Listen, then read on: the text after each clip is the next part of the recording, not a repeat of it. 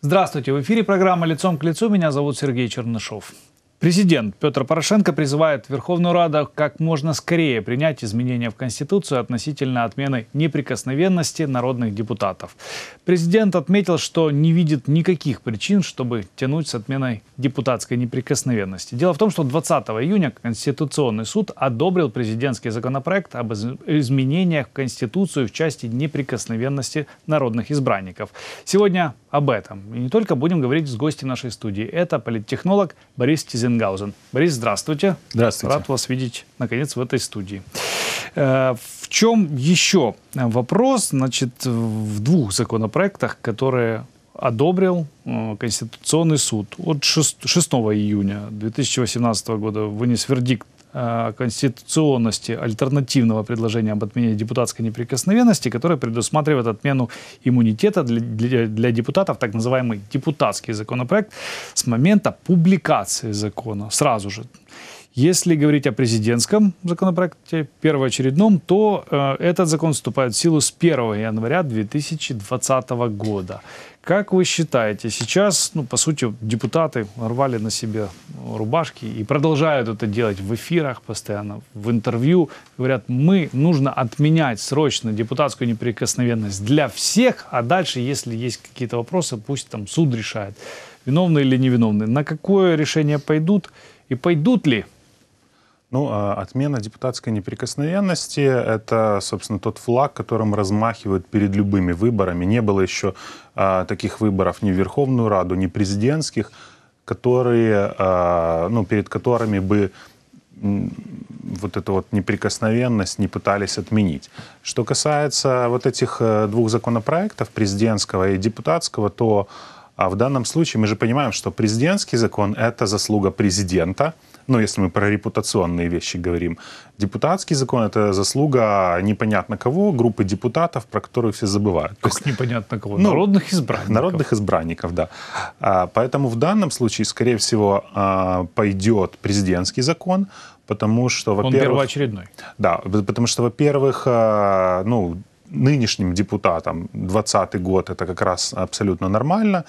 И на фоне, э, на фоне старта работы антикоррупционного суда э, не думаю, что многие из них, некоторые как минимум, точно не захотят э, попадать, вот, снимать с себя неприкосновенность. Это первое. Второе, на взгляд на снятие неприкосновенности, ну, он абсолютно там полярный бывает. То есть запрос общества, все должны быть равны перед законом. Такой стандартный, простой запрос. Депутат, у депутата должны быть такие же права. Это с одной стороны. А с другой стороны, я недавно общался с нашим э, украинским диссидентом, э, господином Хмарой, который mm-hmm первый попал, э, с которого первого сняли депутатскую неприкосновенность, и он поехал за свои проукраинские взгляды фактически в СИЗО.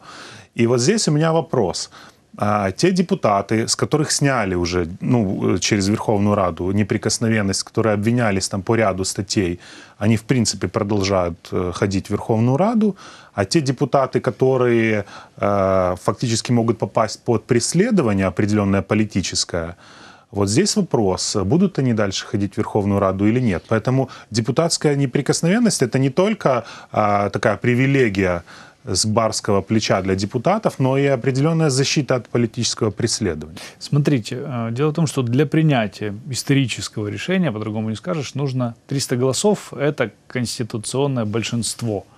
Э, необходимо и решение Конституционного суда окончательно и обязательно к выполнению. То есть оспорить его тоже нельзя. Соответственно, нужно голосовать в любом случае. Сможет ли это... Ну, мы, мы понимаем, что в нашей Верховной Раде возможно все. Угу. Рада больших возможностей. В том смысле, что в ней возможно все. А, могут ли вообще не ставить на голосование? Например, ну, в повестку дня не включать, оттягивать этот процесс. Либо глава Верховной Рады просто не даст так просто, я имею в виду Андрей Порубий, сейчас не даст так э, сманипулировать понятиями. С, а, с одной стороны, можно долго пиариться на, на отмене депутатской неприкосновенности, а когда все карты в руках, ну, пожалуйста, голосуйте. А, ну, долго пиариться в наших реалиях не получается, потому что даже самый серьезный информационный повод живет максимум неделю. И э, события о взрывах машин, о стрельбе из гранатомета в Киеве, они живут вообще буквально один день. То сейчас вспомнил, кто такой Бабченко. Э, да, То есть, например. вы помните, это был э, взрыв информационный на весь мир. Все мы стали участниками, информационными участниками этой спецоперации. В итоге забыли буквально через три дня. То есть пиариться долго... Не забыли, просто мы не вспоминаем. Да, Есть про- другие е- да, поводы. Да, то есть у нас э, жизнь э, украинского электората насыщена настолько информационными поводами, благодаря тому, что определенные телеканалы принадлежат определенным группам, то есть можно, в принципе, чута- чуток искажать определенные факты и получать все такие резонансные крутые штуки каждый день. Это первое. Можно пиариться будет дальше. Вот здесь как раз а, пиар-линия для силовых а, органов. То есть как только снимут депутатскую неприкосновенность, начнется жесткое соцсоревнование между а, силовиками, между Генпрокуратурой, между НАБУ и так далее. Мы уже видим это соцсоревнование. С Луценко, Сытником, э, Ну, Условное соцсоревнование. Условно. Уже нет соцсоревнований. ну да, в, э, в кавычках, конечно. Луценко с Сытником на, на перебой стараются пачками. То есть мы помним эти подания по нескольку человек депутатов в Верховную Раду на снятие. Представление, да. Я, Представление. я тоже перв- первое время, когда говорил на русском в этой студии, все время путался. Думаю, подание, как же это будет Да. Вот. Э, Мы помним эти представления, и, в общем-то, мы помним, чем они все закончились. Но а, если мы говорим о снятии, то есть, да, уже о, как о свершившемся факте, представим, что проголосовали, 300 голосов нашлось, потому что а, все же а, политические крупные силы, они все а, говорили о том, что неприкосновенность нужно снимать. Ну, большинство, по крайней мере, и если сейчас их слово разойдется с делом, то а, в канун предвыборного года и в Верховную Раду в том числе, это не совсем хорошо будет для них. А с другой стороны, смотрите, сколько сейчас народных депутатов в Верховной Раде, с кого уже по тем или иным поводам сняли депутатскую неприкосновенность. Давайте, можем просто перечислить. Ну, Надежда Савченко, она сейчас в СИЗО находится, да, и дальше мы перечисляем. Добкин, причем там дали еще и возможность привлекать к уголовной ответственности. Да. Верховная Рада дала возможность такую прокуратуре. И даже, по-моему, на, а, на арест. э, И на арест, да. Задержание, арест. Да. Потом еще без э, депутатской неприкосновенности сейчас Розенблат. Кстати, кто вспомнит о Розенблате и Полякове, например, да? Уже все забыли. Кто вспомнит о Масичуке, которое, то волшебное видео, которое еще Шокин, а кто вспомнит Шокина, да? То есть Кто такой Шокин вообще? У нас, я же говорю, скорость, а, плотность прокурор. информационного поля, она настолько велика. Да. Новинский, Новинский, кстати, один тоже. из первых в этом созыве. Э, Вот, соответственно, ну, ходят себе люди дальше на работу. Ну, хорошо, были какие-то, возможно, претензии у Генеральной прокуратуры, и по- именно поэтому сняли с них неприкосновенность. А дальше что? Эм, ну, дальше ничего. То есть вот э, Надежда Савченко сидит в СИЗО, но не- неизвестно сколько, так как год у нас предвыборный, так как э, протестный электорат нужно разбивать, неизвестно сколько она там просидит. Потому что как раз э, она неплохо может станцевать там на электоральном поле другой дамы. И я думаю, что как раз, может быть, ближе туда, к президентским она и выйдет. Это у меня такие просто... Вам, как политтехнологу, виднее, Да. на чьем электоральном поде, какой дамы может станцевать другая дама. Ну да, да, согласен. Ну, хотя я бы на самом деле не рассчитывал так на Надежду Савченко, потому что она достаточно непредсказуемая дама.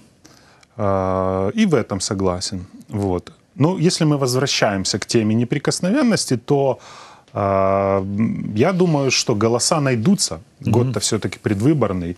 Но а, вот это событие по, по логике вещей нужно делать а, совсем ближе туда, к декабрю месяцу, чтобы хотя бы отыгрывать э, информационный повод этот. Ну, вот мы говорим про новые изменения в Конституцию. Кстати, все время в канун Дня Конституции мы обсуждаем какие-то изменения. Я уже заметил, э, какая-то тенденция. Есть все время говорим про какие-либо изменения. Ну, э, как раз в просто законе. в канун Дня Конституции все вспоминают хотя бы про Ну эту да. О, Конституцию. точно. У нас же есть Конституция, да. Какая мы, какое мы государство?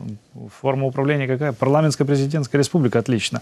Так вот, также президент Петр Порошенко в ближайшее время внесет в Верховную Раду проект изменений в Конституцию, который предусматривает закрепление в основном законе статуса Украины курс на Евросоюз и НАТО. Э, отметил президент, что евроатлантическая и европейская интеграция четко соответствует национальным интересам Украины, а также поддерживается абсолютным, большинств, абсолютным большинством граждан, э, граждан. Отметил, что э, евроатлантическая и европейская интеграция четко соответствует национальным интересам Украины, а также поддерживается абсолютным большинством граждан. И тут у меня, внимание, вопрос.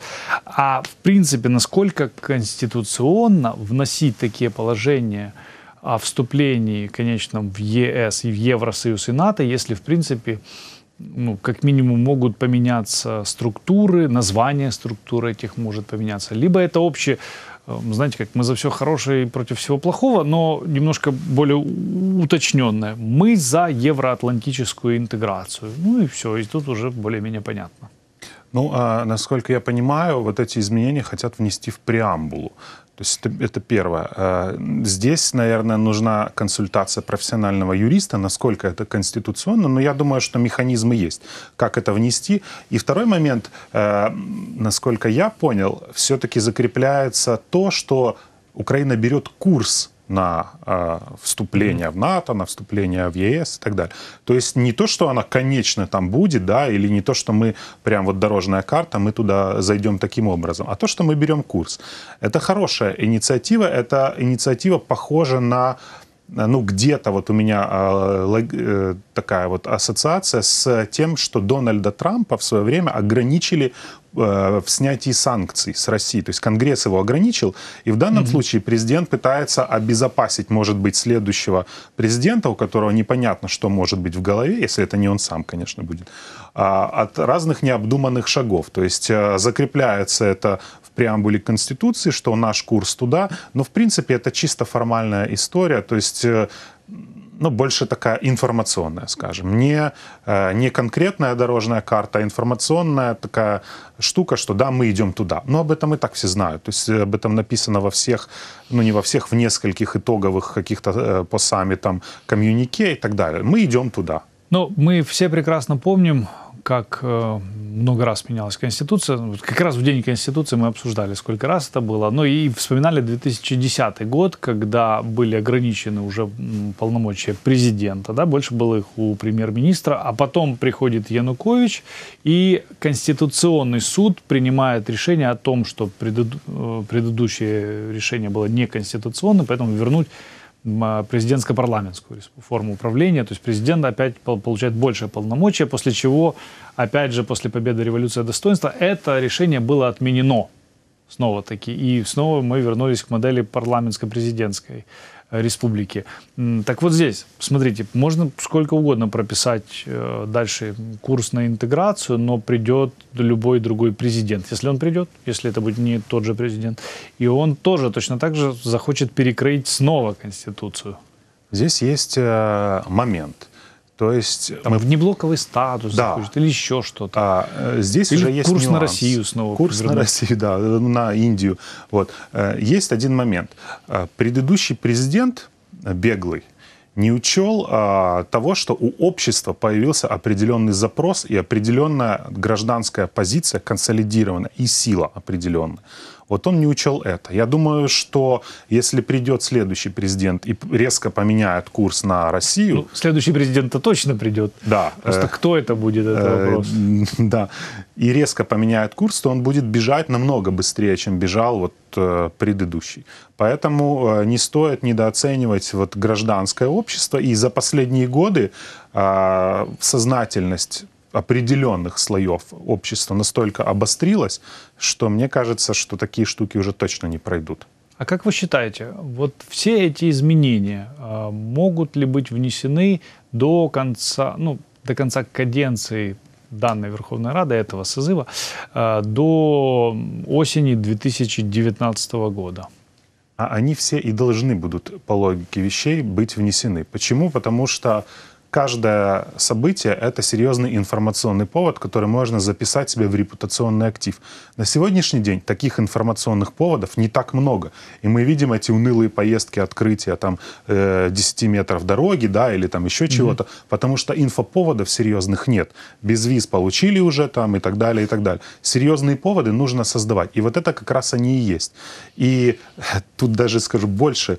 Э, Вот вы помните, как Гройсман сказал, что я уйду в отставку, да, если вы не примете закон об антикоррупционном суде? Ну, приняли же. Тут уже фактически вырывают друг у друга информационные поводы, да, Гройсману, президента и так далее. А президент открывает дороги. А президент открывает дороги. Вот поэтому а, из-за того, что нужны позитивные поводы, из-за того, что их крайне мало, их будут все использовать в предвыборной гонке. Спасибо вам большое за эту беседу. Я Спасибо. напомню, что гостем программы «Лицом к лицу» был политтехнолог Борис Тизенгаузен. Меня зовут Сергей Чернышов. Это UATV. Не переключайте.